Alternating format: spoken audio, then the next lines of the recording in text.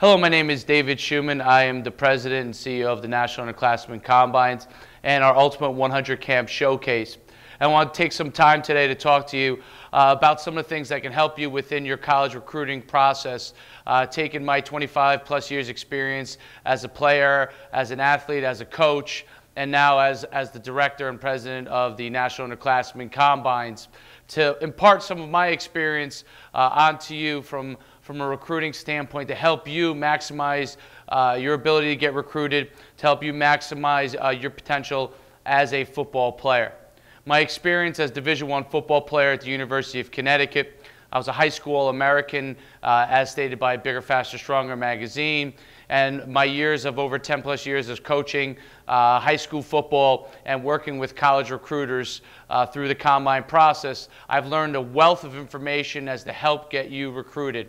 And I have five specific tips that will help you to understand the recruiting process better and they'll help, hopefully help put you over the edge from a recruiting standpoint.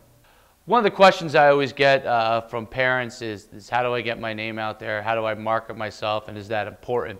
Well, marketing yourself uh, to the college coach is one of the most important things you could do. And you have to be able to market yourself properly. And that involves a highlight tape and doing that highlight tape in a way that the college coaches can get the information they need and the evaluation they need quickly and easily. And that involves a couple of things. Number one, it involves making sure you have a highlight tape of no longer than five to seven minutes with your absolute best plays.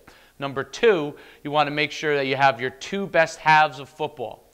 So if you played uh, a great first half uh, against a certain team, you want to make sure you have that on there. And later on the year, if you played another great first half, you put that on there and you get that out to the college coaches. As many of the schools that you were interested in attending, getting those uh, tapes to the college coaches is important.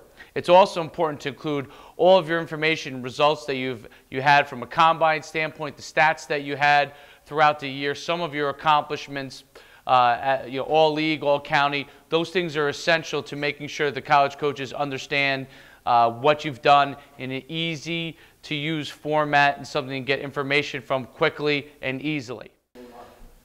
Here are some of the biggest mistakes that I see uh, working with the combines that athletes make when marketing themselves uh, to the college coaches. Number one, including multiple full game highlight highlights to the coaches.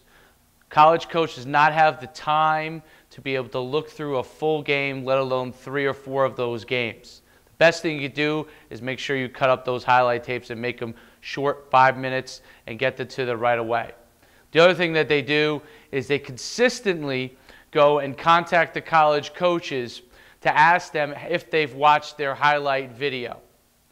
The most important thing you do is make sure that you've marketed yourself to get recognized, but to follow up with them more than one or two times is unnecessary and only serve uh, to irritate those college coaches.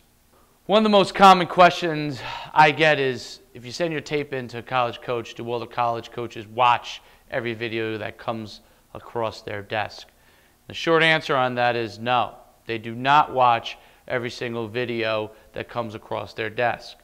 One of the reasons that they don't is because they're constrained on time. They're, they're going to focus on some of the recruits that they do know about, and that's why it's critically important to begin to get yourself marketed and get your name out there through camps and combines and, and getting your name in front of college coaches as much as possible. It's very, very important to do that. Then, when they understand and know who you are and you're part of their database, then when your tape comes across their desk, they are much more likely to watch your film, to pick it up, to, to, watch a name that they recognize, and to be able to then watch their highlight tape. So it's important to make sure that you market yourself properly so when your film comes across that college coach's desk, they watch that film.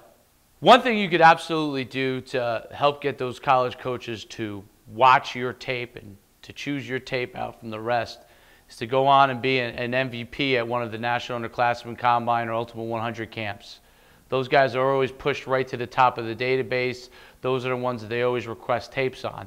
So you go out and you become an MVP, and that's going to definitely separate you from the pack.